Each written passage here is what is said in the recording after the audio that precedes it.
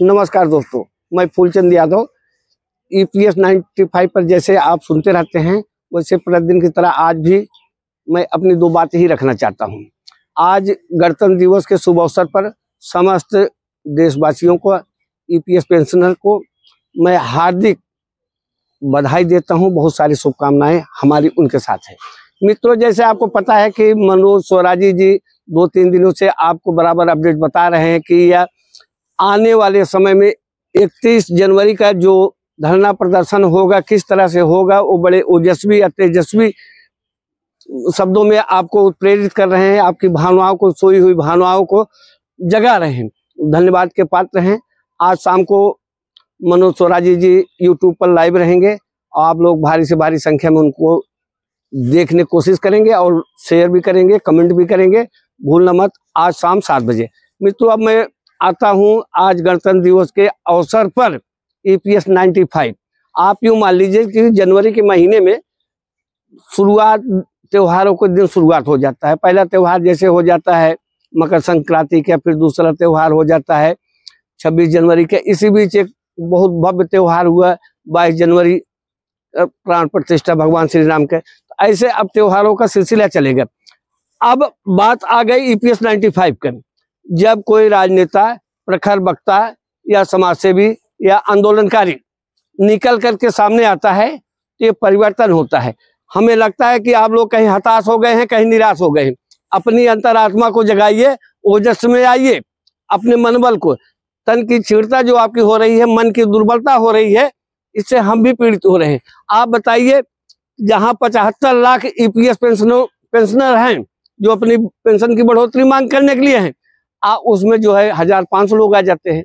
या तो आपके तन की दुर्बलता है या मन की कमज़ोरी है। आप अपने आत्म बल पौरुष पराक्रम के साथ इकतीस जनवरी को आप आइए। अब मैं आपको उदाहरण लेकर चलता हूँ। अगर सफल होना है तो आंदोलन से ही सफल हो पाएँगे। अन्यथा इसके अलावा कोई रास्ता है नहीं। कई बार ऐसे आंदोलन हुए कि लोग सफल हुए। आप सोचिए, अपने देश की आज़ादी आंदोलन से ही मिली है। किसान आंदोलन हुआ जो काले कानून थोपे जा रहे थे, वो आंदोलन से ही निकल के आए को काला कानून नहीं थोपा गया। भले साढ़े सात सौ किसान शहीद हो गए हों। अन्ना हजारे का आंदोलन हुआ, एक नई सरकार बनी, एक परिवर्तन हुआ। इसके बाद बहुत सारे ऐसे आंदोलन हुए, जो अपने प्राणों की बाजी लगा देते हैं समर भूमि बना देते हैं रणक्षेत्र का मैदान बना देते हैं, आर या पार, ये सरकार रहेगी, या हम रहेगी, या हमारी मांगे पूरी जाएगी। तो मित्रों, ये इसलिए हम आपको आक्रोशित भी नहीं कर रहे हैं, आपकी सोई भावनाओं को आकर्षित करने के, केंद्रित करने के लिए कह रहे हैं कि 31 जनवरी को जब आप जंतर मंतर पधारेंगे, जिसका नेतृत्व जो है श्री अशोक राउत जी कमांडर साहब कर रहे हैं, बीरेन्द्र सर कर रहे हैं, आप उनके आइए और उनका मनोबल तभी बढ़ेगी, उनके अंदर शक्ति तभी आ पाएगी, आपके कार्य को अच्छा रूप दे सकेंगे जब आपके पास संख्या बल ज़्यादा होगा। जब आप संख्या बल होगा आप बताइए सब्र की एक सीमा होती है। सब आप लोगों ने सब्र किया, उसकी एक सीमा हुई। धीरे धीरे आठ साल यूँ मान लीजिए कि दो सरकार के कार्यकाल पूरे हो गए, लेकिन हुआ हुआ है कुछ नहीं। आपने बड़ा अच्छा किया, राष्ट्रीय संपत्ति का कोई नुकसान नहीं पहुँचाया, कोई तोड़ फोड़ नहीं किया, रेलवे नहीं रोका। मतलब बुज़ुर्ग का जो संस्कार होता है, आपने अपने जीवन में अथक अथक परिश्रम करके घर परिवार चलाने के लिए जो आपको मूल वेतन मिलता था, मिलना चाहिए था आज पेंशन डिमांड क्या होती है? आपका काटा गया पैसा ना बारह परसेंट। अब बारह परसेंट सरकार को देना चाहिए था। अगर वो पैसे ना काटे गए होते तो आपके पैसे पूरे आपके पास मिलते। या काटा गया तो उसको समय से मिल जाना चाहिए। अब आप सोचिए ईपीएफओ कार्यालय, जो श्रमिक कार्यालय है, जिस, जहाँ पर पैसा जमा होता है, देश के सभी अर्थ क्षेत्र में काम करने वाले, सरकारी संस्थान में काम करने वाले, उनका पैसा काट करके, सरकार का पैसा काट करके बारह परसेंट जमा करके आप दस साल, पंद्रह साल, दस साल अगर आप कहीं काम कर लेते हैं तो आपको पेंशन मिलने का एक अधिकार मिल जाता है। इस तरह से आपने पैंतीस साल, चालीस साल, अट्ठावन साल साठ तक, साल तक आपने काम किया। सोचिए कितना धन संग्रह हो गया। पचहत्तर लाख जो है लोग पीड़ित है। इस देश में जो पेंशन के चाहने वाले लोग हैं, कि अगर पचहत्तर से दस लोगों को जुड़ा किया जाए कि वो तीन को समझा ले, वो तीन को समझा ले, वो तीन को समझा ले ना तो सरकार के सामने एक समस्या पैदा कर देंगे ना। जहाँ हमारे संस्कारों में है कि हम बड़े बुज़ुर्ग हैं और हमारे बच्चे हैं और हमारे रिश्तेदार हैं, हम सब हैं, सब आश्रित तो बुज़ुर्ग के ऊपर हो जाते हैं ना। घर का मुखिया जो बुज़ुर्ग होता है, वही देश के प्रधानमंत्री के जैसे हो जाता है। उस घर का वो प्रधानमंत्री हो जाता है कि उसे कैसे रक्षा बजट को चलाना है, कैसे परिवार को चलाना है, कैसे कृषि कार्य को चलाना है, कैसे अन्य कार्य को चलाना है। इसमें काफ़ी व्यय का खर्चा होता है। अब पैसे के अभाव में और आत्मग्लानी पैदा होना निर्धनता भावनाओं की हत्या करना और तमाम तरह के, होता है कि हम वो उम्र में छोटे हैं, किसी काम से, काम के लायक नहीं, लेकिन आज हमारी मजबूरी है, हम उनसे भी अपना हाथ पसार देते हैं। सरकार अगर सहयोग कर देती है, जबकि सुप्रीम कोर्ट का आदेश है, आप जानते हैं कि साढ़े सात हज़ार रुपए मिलना चाहिए, प्लस डीए मिलना चाहिए, और उसके बाद जो है चिकित्सा सुविधा मिलना चाहिए। सरकार को अपने विचारों का क्रियात्मक रूप क्यों नहीं दे पा रही? कितना प्रयास किया गया? बीसों बार श्रम मंत्रालय में अशोक राव जी वीरेंद्र सर ने बैठक किया। उसके बाद दो दो बार प्रधानमंत्री से मिला। आश्वासन पे आश्वासन, तारीख पे तारीख। आखिर ये कब तक सिलसिला चलता रहेगा? इन आठ सालों में आप मान के चलिए, जो आंकड़े निकल के आ रहे हैं, शारीरिक दुर्बलता से लगभग चार लाख जो है, इस धरा को छोड़ चुके हैं। स्वर्गीय हो गए हैं। आखिर निर्धनता भी तो आदमी को आर्थिक रूप से अगर प्रबल है तो आप थोड़ा अच्छी आयु जीते हैं कब आयु जीते हैं। कभी आपके पास पैसे ना हो तो दवा आप कैसे खरीदेंगे? घर परिवार का संचालन कैसे करेंगे? आ, आज आ, जीवन पैदा होने से लेकर के मृत्यु तक तो पैसे की ज़रूरत है। आप बताइए बच्चा जब इस धरती पे आता है तो उसको टेनस का इंजेक्शन भी लगवाना है। तमाम सारी चीज़ें हो गए। अंतिम समय संस्कार में भी आप ढाई तीन हज़ार रुपए अंतिम संस्कार में भी खर्चे आ जाते हैं ना। यही बात मैंने आपसे कहा था, आपने कमेंट भी अच्छा किया था। Any human body can not live without money बिना पैसे कोई जीवित नहीं रह सकता।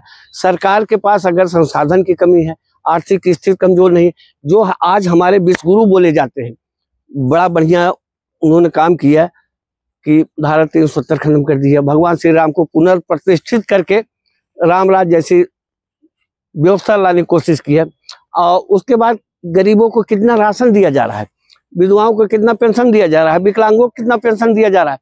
आपने तो सेवा का, अपने हक का पैसा मांगा है ना? हर क्षेत्र में सरकार काम कर रही, लेकिन आपके प्रति, ये सरकार उदारता कब दिखाएगी? आपके आपके ईपीएस नाइन्टी फाइव के पेंशनरों पेंशनर्स जितने हैं, उनके प्रति सरकार आखिर कब उदारता दिखाएगी? कब अपना बड़ा दिल दिखाएगी। जबकि हमारे कमांडर साहब वीरेंद्र सर का कहना होता है कि हमें सरकार बदलना नहीं है। सरकार से हमें अपनी बात मनवाना है। सरकार कोई भी होगी, हमारी मांगे जो है, जायज़ है, और हम उसके लिए लड़ रहे हैं। हम अपने पैसे के लिए लड़ रहे हैं, किसी और के पैसे के लिए नहीं लड़ रहे हैं। सरकार ने हमारे पैसे के लिए हम न ब्याज, न कर्जा, न लोन किसी तरह से भीख नहीं मांग रहे हैं। हमारे पैसों को मिलना चाहिए।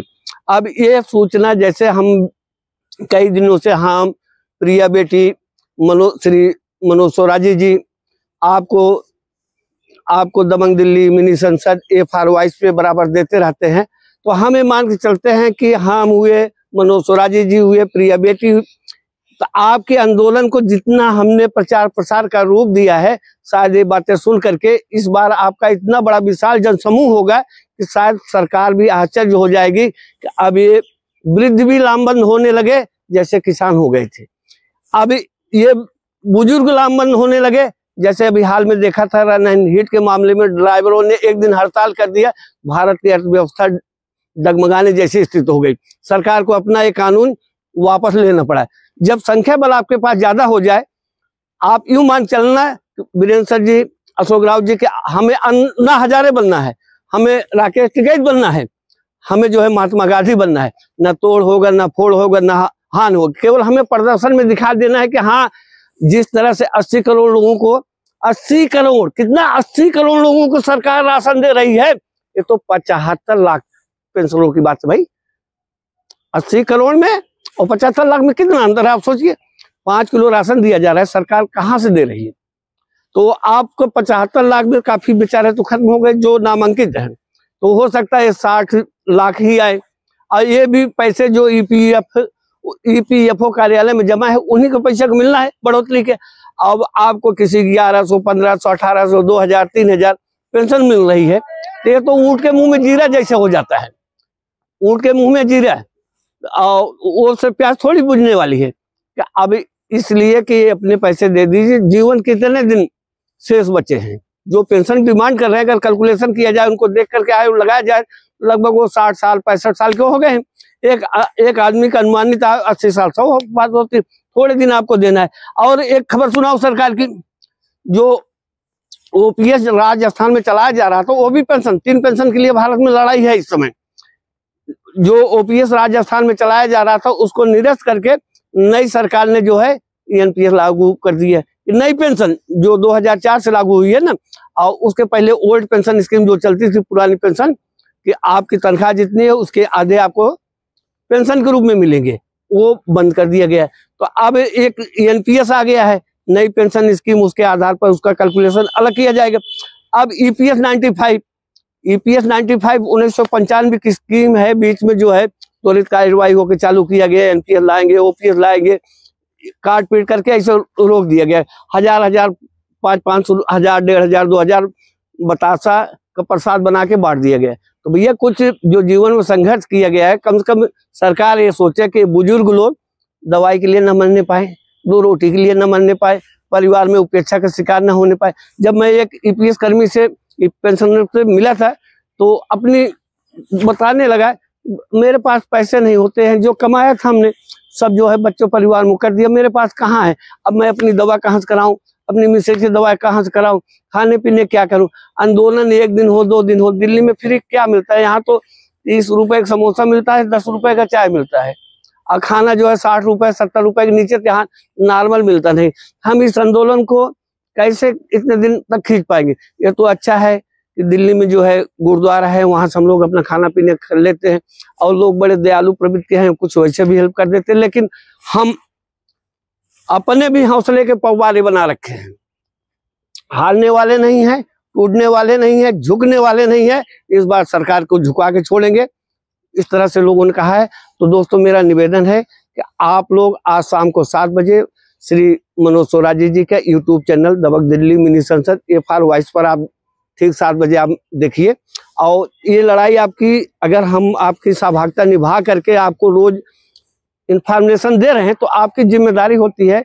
आप, हमें लाइक करें कमेंट करें शेयर करें, कोई जानकारी हो तो कमेंट के माध्यम से आप हमें बताएँ। और हमारा भी, जब आप कमेंट करते हैं तो हमारा भी मनोबल होता है। और इतना तो आप विश्वास से मान चलिए कि आठ साल की लड़ाई में जो प्रखरता, जो ताकत हमने आपको दी है, प्रिया बेटी ने दी है मनोज स्वराजी ने दिया है कई कई चैनलों में। और हम इसलिए रोज आते हैं कि आपका शुभ आशीर्वाद मिलता है। हम भी एक संस्कार, परिवार से आए हैं संस्कारी। लोगों में से कहें कि बड़ों, बूढ़ों को अगर सरकार से कुछ हेल्प जाती, मिल जाती हमारे कारण तो इसमें बुराई क्या है? अगर एक गुनाह है, मैं गलत कर रहा हूँ तो हाँ ये गलत करता रहूँगा इन्फॉर्मेशन देता रहूँगा, सूचना देता रहूँगा। हम बड़े वृद्ध जनों के साथ खड़े हैं, आपकी लड़ाई के साथ। इसी के साथ मैं अलविदा चाहता हूँ दोस्तों। नमस्कार